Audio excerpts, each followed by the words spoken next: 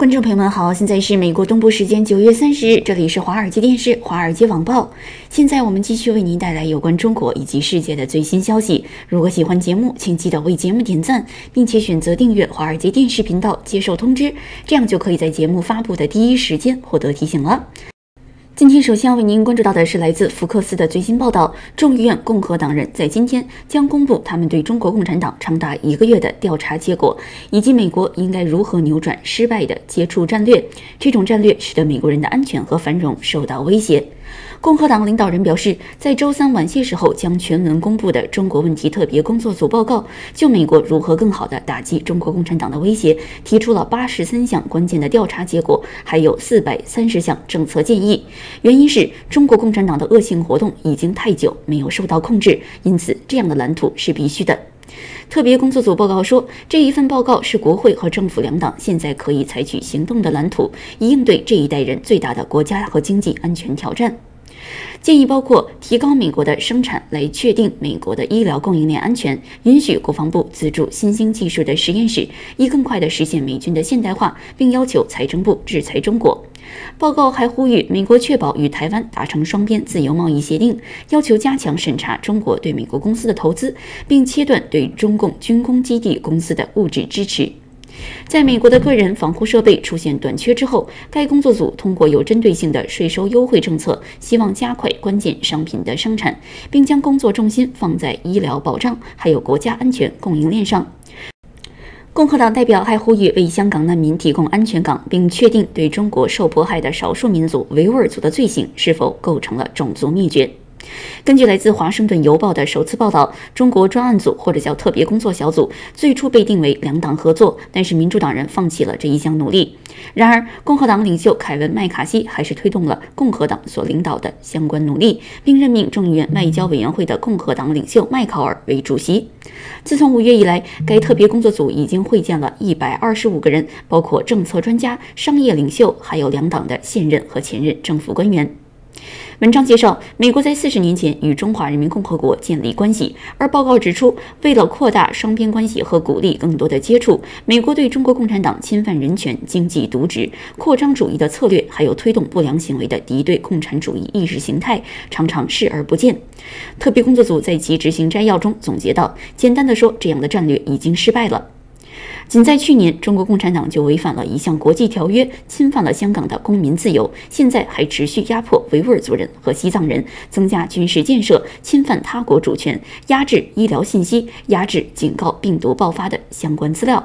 这一系列的警示揭示了中国共产党的意识形态是如何破坏国际体系的核心原则，并将美国人的安全和繁荣置于危险之中。执行摘要这样表示：对中国共产党以及其压迫性议程的宽大处理和迁就已经不再是选项。为了维护全世界的民主和自由，美国必须与我们的盟友一同采取果断行动，重新获得主动权。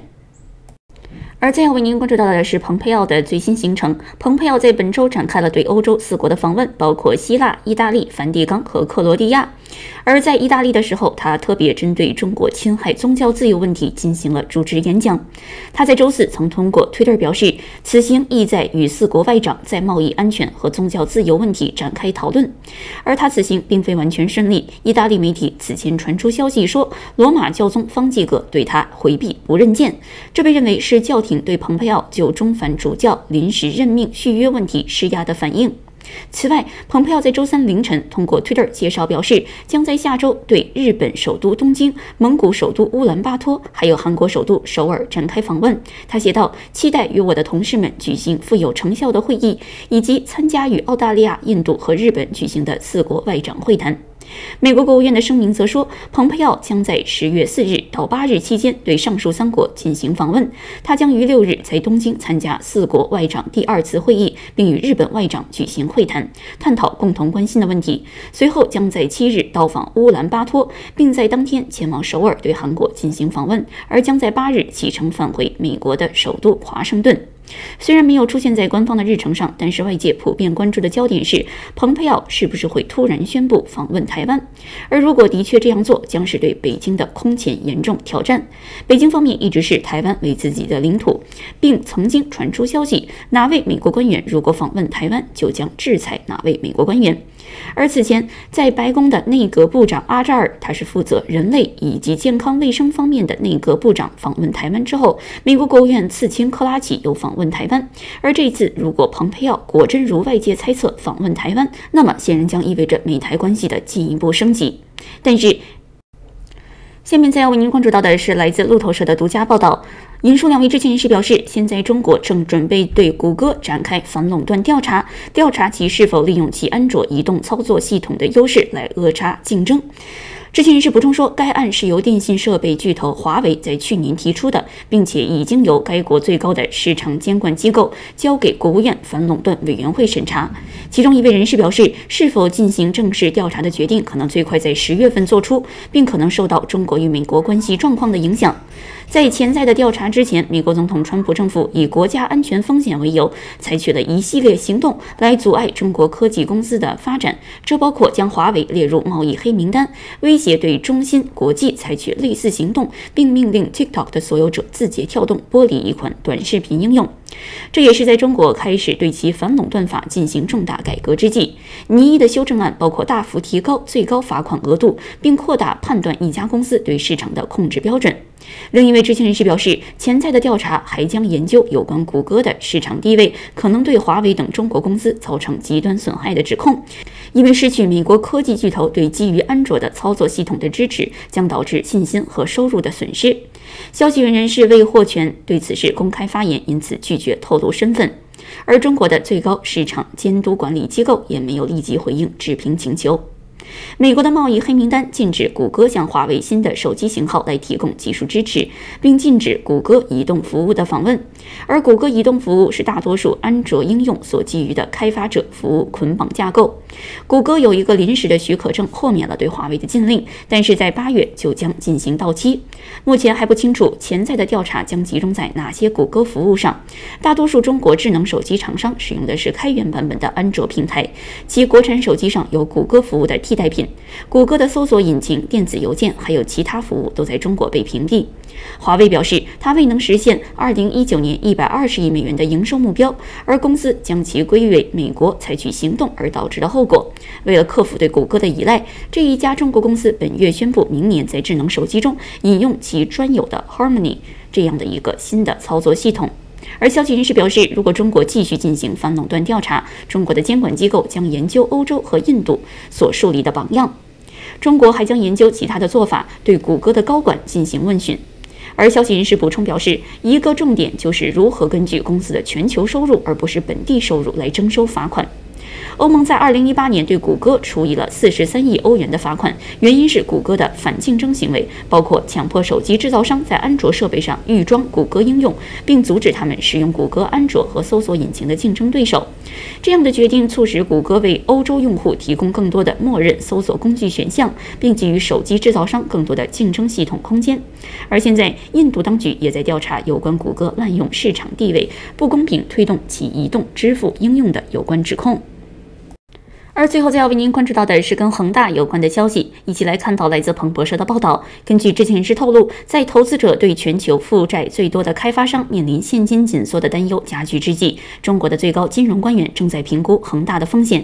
这些人士表示，中国内阁以及由国务院副总理刘鹤担任主席的金融稳定委员会已经讨论了恒大的问题，但是没有就是否干预做出决定。其中有一位人士说，监管机构正在考虑支持该开发商的方案，比如引导国。有企业入股恒大，或者为该公司拟在中国上市的电动汽车部门开绿灯。这些讨论凸显了恒大债务挑战在多大程度上惊动了政府高级官员。这家由亿万富翁许家印控制的地产巨头拥有一张复杂的负债网，其中包括拖欠全国各地银行影子贷款人还有个人投资者的八百八十亿美元。恒大还向世界各地的债权持有人借了三百五十亿美元，并从二百多万购房者那里收到了尚未完工的房产的预付款。